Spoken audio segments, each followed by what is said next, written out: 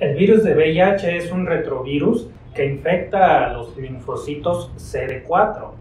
En cuanto al diagnóstico de la infección es de primordial interés conocer el periodo de ventana. Esto quiere decir el periodo de tiempo que debe de pasar después de haber adquirido el virus hasta que una prueba es válida. Las pruebas que detectan con mayor precocidad van a tener un periodo de ventana más corto y viceversa. Las pruebas que lo detectan con menor tiempo después de adquirida la infección son en primera instancia los métodos moleculares, la PCR, que tiene un periodo de ventana aproximado de 10 días. De ahí tenemos las pruebas que detectan antígeno P24, que es una parte del virus, que ronda de 15 a 18 días su periodo de ventana. Y de ahí tenemos una serie de pruebas serológicas para detección de anticuerpos, las cuales normalmente se maneja que es de aproximadamente cuatro semanas. Sin embargo, no en todos los pacientes se observa un comportamiento uniforme. Ocho semanas después del contacto con el virus, el 95% de infectados han desarrollado anticuerpos. Quiere decir que ya podríamos detectar la infección en estas personas pero si quisiéramos abordar el 100%, deberíamos de esperar hasta 8 semanas. Las pruebas serológicas se basan en la detección ya sea de antígenos del virus, es decir, estructuras propias de él, o de anticuerpos generados por el propio paciente. Estas pruebas pueden ser tanto en un sistemas automatizados propios del laboratorio con detección por quimioluminiscencia o de ELISA automatizada, o en su versión de prueba rápida. Cabe aclarar que las pruebas rápidas tienen menor sensibilidad y especificidad que si las comparamos con las pruebas de ELISA o quimioluminiscencia. Las pruebas serológicas son clasificadas de acuerdo a generaciones, acorde al tiempo en el que fueron diseñadas y autorizadas para su uso, siendo las más antiguas las de primera generación y las más recientes de quinta generación.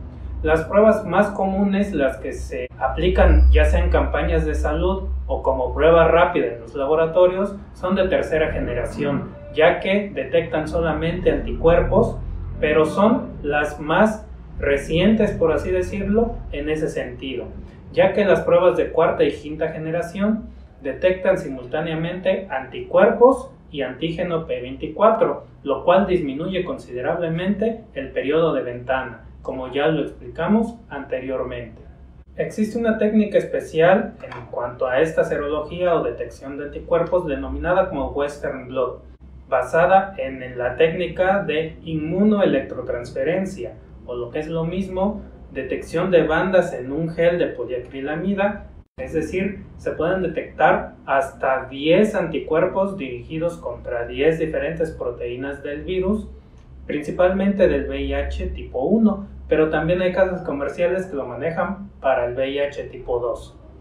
Existen ciertos criterios de interpretación dependiendo de el patrón de bandas que se va observando en estos geles para ejercer un resultado como positivo, negativo o indeterminado.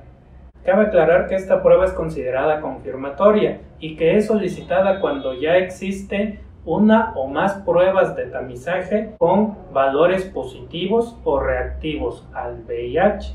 En cuanto a las pruebas moleculares, en primera instancia tenemos la PCR, que puede detectar tanto el RNA viral, que es la prueba que se elige cuando estamos diagnosticando una infección aguda, o bien pruebas que detectan el DNA proviral, es decir, la detección del DNA que ya está integrado en las células del organismo.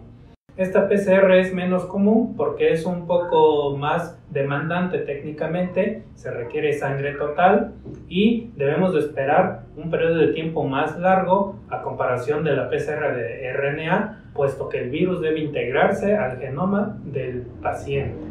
Por otra parte, existen también técnicas basadas en biología molecular para cuantificar la carga viral, esto es, conocer cuántas copias por mililitro existe en la muestra del paciente. Sin embargo, más que para diagnóstico, esta es de utilidad para el seguimiento al tratamiento, dado que puede ocasionar muchos falsos positivos si se utilizara para tales fines. Cabe aclarar que tienen una especial validez en el caso del diagnóstico en niños menores de 18 meses, dado que el diagnóstico serológico en este nivel es algo complicado y se prefieren métodos directos o moleculares para la detección. De acuerdo a la historia natural de la enfermedad, como podemos estar observando en esta imagen, van a ir cambiando el comportamiento de todos estos analitos para el diagnóstico y seguimiento del VIH. Como podemos observar en etapas tempranas, lo más recomendable o lo único que podría detectar la enfermedad es la PCR que detecte RNA viral. Después de un periodo de tiempo corto, empieza a ser detectable el antígeno P24. Solamente que este analito tiene la peculiaridad de que su detección es solamente posible en un periodo corto de tiempo, como lo estamos observando en la gráfica. Después de ese periodo de tiempo, aun cuando el paciente esté infectado, el resultado va a ser negativo por la formación de inmunocomplejos o porque tenga una carga viral indetectable. Posteriormente, como va avanzando la enfermedad, el individuo se convierte, es decir, empieza a generar anticuerpos y estos ya son detectables por pruebas ya sea de tercera, cuarta o quinta generación, dependiendo del periodo de ventana de cada prueba. Estos anticuerpos van a estar presentes durante toda la fase de la enfermedad, por consiguiente son detectables en un periodo indeterminado de tiempo después de la infección. Es muy raro que alguna persona a este nivel pueda dar resultado negativo, a menos de que exista alguna otra deficiencia inmunológica previa a este contacto.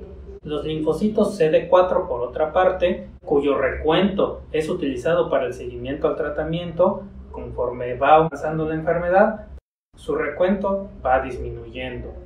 Así también la carga viral, la cuantificación de virus en sangre, si no se lleva un seguimiento correcto del tratamiento, pues este va a seguir en cantidades elevadas, pero si este es óptimo, puede llegar a ser incluso indetectable.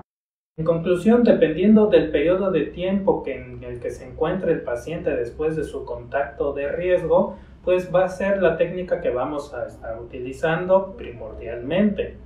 Posteriormente, después de haber tenido pruebas de tamizaje positivas o reactivas, se le sugiere realizar una prueba confirmatoria. Ningún caso de VIH se puede diagnosticar solo con pruebas de tamizaje. Y por último, existen algoritmos que pueden ir cambiando dependiendo de la institución o dependiendo del país o zona geográfica en el que estemos, en el cual marcan claramente los pasos a seguir para el diagnóstico de esta infección.